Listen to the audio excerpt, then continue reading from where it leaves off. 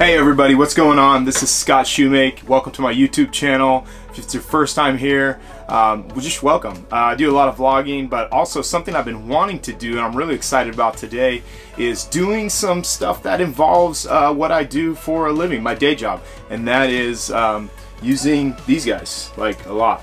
And uh, as a photographer, I shoot both film and I shoot digital. And so today, something beautiful happened on the internet, and that is that Mastin Labs, which is a preset maker. They make presets for Lightrooms. Um, they released the Fuji Pushed Pack um, for Lightroom, new set of presets, and I'm so excited to try those out. And so today I'm going to be doing a little review, um, a little tutorial, and just show you some of what it looks like when you're trying to match your digital photography to your film photography. Because sometimes you're like, oh, I just want to shoot film, and that's great. But there's other times where you're like, I want to shoot digital because I need a low light or I need a video camera as well or it's just more convenient or I don't have the money to, to buy film right now. And so presets for Lightroom are really, really nice when you need that um, that film look. You want that film look and that consistency across your work. And so today we're going to talk about that a little bit. And I'm going to show you some photos. I'm not just going to show you like beautiful backlit California photos. Um, that's kind of what everybody does. They show their best stuff, and I'm going to pick good ones, obviously, and I'll throw some backlit, beautiful California ones in there. Um, but I want to show you like different lighting conditions and how these presets work and manipulate the digital photos in different lighting situations. So we're going to show you some some editorial, some travel, some wedding, some portrait, just some different stuff in different lighting conditions. So like blown out, overexposed, and then like underexposed and muddy and um, different lighting like candlelit or inside of a uh, you know a home with like incandescent lighting and how that looks. So anyway um, let's jump into the computer and uh, and see what these things look like see how uh, see how they did. I'm pretty stoked about it. Kirk's one of my uh, one of my favorite dudes in the photography industry and I love what he's doing at Mastin Labs. So um, let's go Okay, so here we are. We're back in Lightroom, um, Adobe CC, Lightroom, whatever you call it. Anyway, uh, this is my photo editing suite, and as you can see, we've imported 26.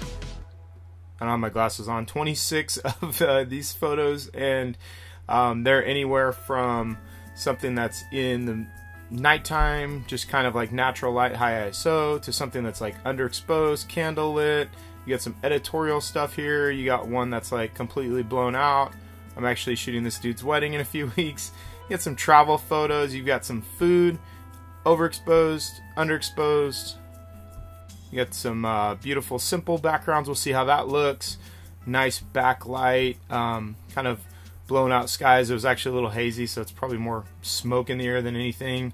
Um, beautiful California golden light, and then you've got some more underexposed. You've got some deep, rich colors. So anyway, I just wanted to say that I'm putting a full spectrum of photos in here for you guys to check out. Um, but let's jump into the development panel. And as you can see, I've got um, some definitely uh, some Mastin Labs presets already in here. Um, but these guys are the ones that I want to focus on today. So let's find the Sony ones. Those guys are going to be right there. And uh, yeah, it looks like you've got um, a nice little breakdown. I like how I like how Kirk did that. That's uh, that's that's pretty cool. Um, breaks it down in between film and um, and then tone. And there's lens correction and then grain at the bottom too. So uh, the first photo we have is from one of my favorite weddings ever. Um, I just happen to have the raw file on my hard drive that I had plugged in, so um, threw this one in here. And let's see, if you look up in the upper left-hand corner right here, you'll see uh, like a little quick, um, I think they call it a smart preview of what each one looks like. So here's Fuji 400H plus one SP, and then blue plus two, makes it nice and warm. Then plus two blue, kind of tones it down. And then here's uh, Fuji 160, which um, is actually a great film too. And I really like the uh, the plus one look on that Fuji 160. And look how beautiful that just uh, went with with like one click. And um, it may have got a little bit red, so you know you can you can pull down the uh, the tint a little bit. Maybe that was a little too much, but somewhere in there, throw a little bit of warmth in there. Um, one of the things I love about Mastin Labs is there's this like trend right now to make everything like kind of these zombie tones of like weird like goldeny yellow skin and I like natural. Like to me this looks natural. This looks like what your eye is going to see when you are in this setting right here. Um, and check the clipping path. There's really nothing blown out. See one little red light right there, one red light right there. Um, nothing's really really blown out. But anyway, um, that is Fuji 160 on on that photo, and that looks pretty stinking awesome. And we'll throw some medium format grain on there. I love grain on my photos, and yeah. So here's the before and after. Um, pretty stinking magical. I love it. I love it. Okay, so here's an interesting photo. Um, this one to be honest, I don't even know if it. I would probably go black and white with it, but I was like, let's throw this in there and just see what it looks like in the push pack. We're obviously gonna have to push a bunch of light into it, um, but let's see what it does to the tones. And I immediately, when I was scrolling through these, I was like, oh my goodness, I love this. And let's uh, let's bump some light in there. Let's pull some of the the red tone out of there and just get this photo looking fantastic. Um, look at that, you guys. Do you love that? I kind of kind of dig that. And you can always come in here, mess around with curves. It already has a little bit of a J curve. You can pull darks out. You can go, you know, something like that. And um, you know, I don't mess with uh, with clarity too much, but you can throw in a little bit of a bump, and then um, throw some medium format grain on top of it, and like these are to me this is like what film looks like. This is what a film photo would look like if you um, if you were shooting film and pushing like say you had a Fuji 400H and you pushed it a stop. This is like Kirk if you're listening dude this is what it would look like and I love that. So um, let's move on. Here's a, a candlelit reception. Um, they're toasting as you can see right here and let's scroll through and see what these are going to do to the photo. Oh my goodness. These look so good. Um, again, a little warm because you've got the candlelight and you don't want to go too blue, but you can pull some reds.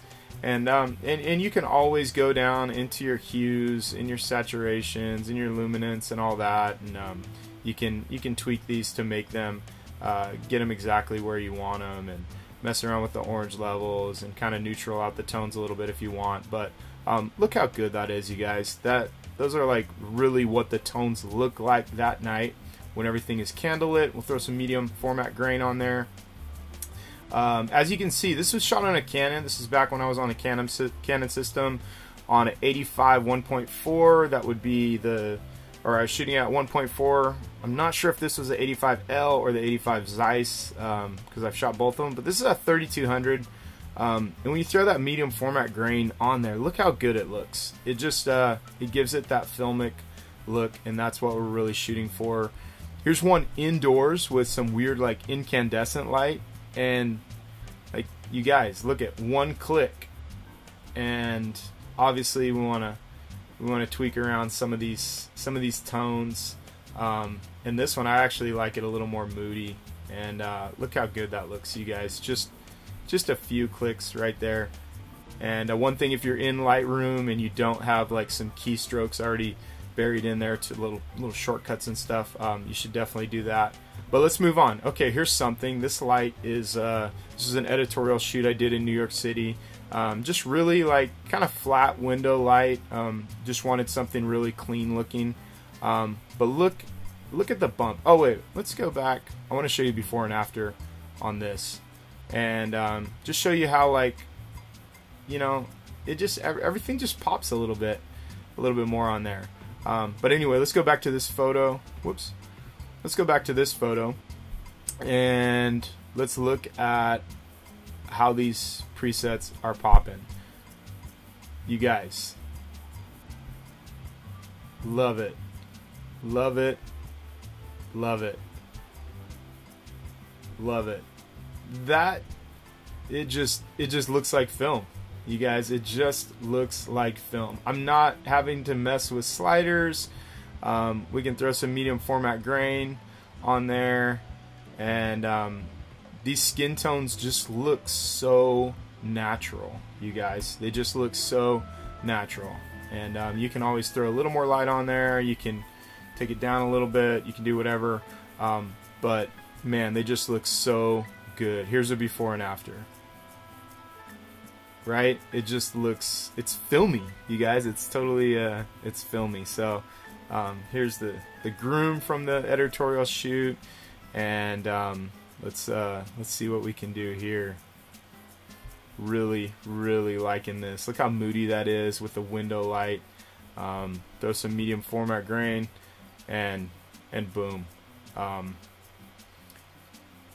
I don't know. I don't like to sit down and try and build my own presets and try. I, you know, I'll tweak these maybe a little bit to my liking. But you guys, I've never seen anything like out of the box that is so so stinking good.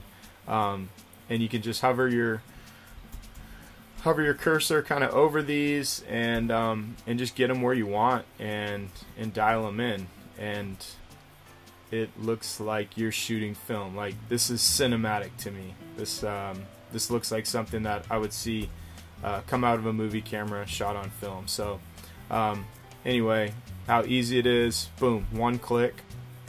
And haven't touched anything and it looks great. I would probably warm that up a little bit, turn the reds down a little bit.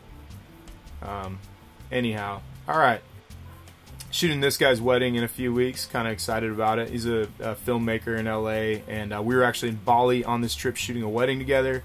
And uh, you know, we're just messing around with cameras on the beach at Padang Padang, and uh, I had these on a hard drive, and I'm like, dude, I don't even know if I ever gave him these photos. So Seth, if you're watching this, if I didn't give you these photos, dude, I'm so sorry.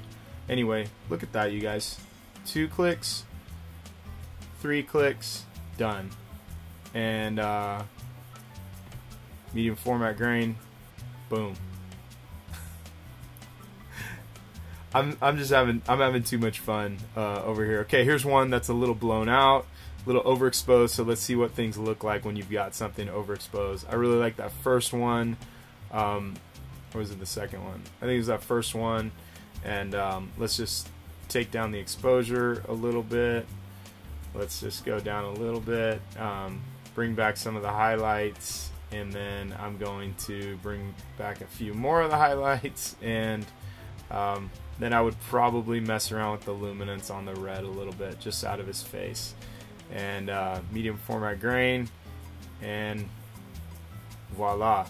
See how much this pops compared to how flat. I know you're dealing with raw images so they're gonna be flat but um, this just has that film three-dimensional pop look to it. Here's one that would be like uh, underexposed. And so one thing I'm always interested in looking at when I'm dealing with photos um, in editing in Lightroom is like while I'm shooting, what does it make them look like when they're when they're underexposed, overexposed? How does it affect the preset? And so three clicks and boom, you've got that. So there you go. And see how that grain just kind of completes the photo. Love it. Love it. So good. Um, these these things are just killing it. Um, there's a little travel photo. A little Balinese cow out there. Um, really like that first one. So we're going to go with that. Boom, let's roll. Okay, food photos. Hopefully we have some food photographers out there that can critique my work a little bit. Um, we're just going to crop in a little bit on this uh, charcuterie board and hope I said that right. um, I'm really digging the, the 160. So this is a little overexposed. So we're going to bump that down a little bit. Um, going to bring some yellows out of there. Bring the temp down a little bit. And um, I always like to, to pull the highlights in just a little bit. Make sure nothing's clipping if you got one spot like that on a whole photo clipping, you're you're pretty good, especially if you're printing. And um, yeah, give it a little bit more clarity, drop the blacks a little bit, and uh, look at this, you guys. Oh, grain, boom. Isn't that amazing? Some of you guys are like, you're telling all your secrets, Scott? Really? I mean, other people are going to do it too, but you know. Okay, so here is what I would say is something that the exposures is really, really good for these presets. You see how easily transition the exposure is? Um, I mean, maybe one click in exposure, some clarity and some blacks, and um, something like that. And then uh, throw some medium format grain in there, and voila. All right, so let's uh, let's go with the more little like simple look here. Um, I love these. I love how this photo is actually bringing some um, a little bit of a magenta tint to it, and really digging that. And we'll just kind of straighten that out a little bit. Um, isn't that amazing? Little grain. And again, you can always tweak and customize um, these presets to your liking. So, how cool is that?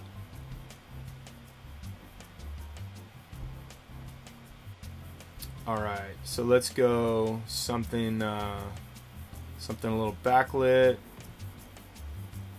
They're just uh, dancing out here, having some fun. And from what I'm seeing, this is where the magic really happens in these presets is when you have stuff that's like a little bit underexposed, you're trying to retain like highlights and um, and different things like that. Um, if you're a wedding filmmaker, you might recognize these guys. They're uh, they're Love Spun Films celebrating their 20th wedding anniversary. I know they don't look like they can uh, have been married for 20 years, but look at those tones, you guys. Ah, just amazing. So let's let's do another one. All right, walking off into the sunset. Um, and these just really look good. And I would put a little bit of uh, exposure back into that. Pull some of the reds out, and um, yeah, just it brings this, like I said, a three-dimensional look to it. Um, once again, you're just you're basically just doing one or two clicks and boom. Your photo is done and you're moving on and you're not spending all this time trying to pull sliders around. How cool is that? How amazing is that? This one's really underexposed. I think I was trying to like just retain some of these highlights. Um, in post I would probably pull some of these uh, little flyaway hairs out but um, this one's really underexposed and I wanted to see what it would look like. I have a preset that's already kind of like built for photos that are underexposed like this. Um, and so we're just going to kind of test and tweak a little bit and see how much we can get this to look amazing. Throw some medium format grain in there and um, you guys um, I don't know how many of you already shoot film but if you do shoot film, you kind of know that you'll uh, you'll be right here with me, just being like, "Oh my goodness, Scott, that looks just like film." And um, here, what what I did here is just a little quick little shortcut. I um, did a keystroke. I built in a keystroke to sync settings, and so boom, now you have your settings synced right here, and you can just transfer things right over to the next photo. Um, anyway, beautiful, beautiful presets here, Kirk. Loving everything about them. And um, let's see, I think I'll have one more after this. Medium format grain. And then um, let's just push some light in here and see what that looks like. Pull the darks and the shadows out a little bit. And look at these tones, you guys before, after. So what I'm seeing so far is that these are looking really good, underexposed, um, and pushing light in. I'm guessing that's kind of what they were meant for. Um, you get a live view here of what they're going to look like as you edit, um, which that'll be kind of cool. So um, what I'm seeing is that if you shoot overexposed, uh, they look great, but if you shoot underexposed, they look amazing. And um, man, I've never seen presets that make your photos look as much like film as these. These are something special, and I uh, hope you guys have enjoyed this. Hope you uh, have learned something from it. Maybe, maybe pulled something out of it, and I hope you guys enjoy it. So. Uh, that is Mastin Labs uh, Lightroom presets. Uh, hopefully, I'll have an affiliate link for you below, um, but you can kind of just go through and see. And if I don't have an affiliate link, still go ahead and support them. The, they're an amazing company. Kirk's a great guy, doing some awesome things. And uh, as you can see, as these buffer through, um, man, the, the presets really, really make a big difference. So uh, that's all for today, folks. Make sure and hit subscribe. Make sure and click that like button and uh, we'll see you see you in the few. If you have any questions, um, make sure and post those below. I will answer them. I get back to every pretty much everybody on here, and uh, make sure and post those below. Camera giveaway is coming. It's coming. It's coming. Um, I've actually got a little Gorillapod on the way. That's going to be a part of that. So I've been kind of waiting on that. But anyway, it's coming soon. We'll see you guys.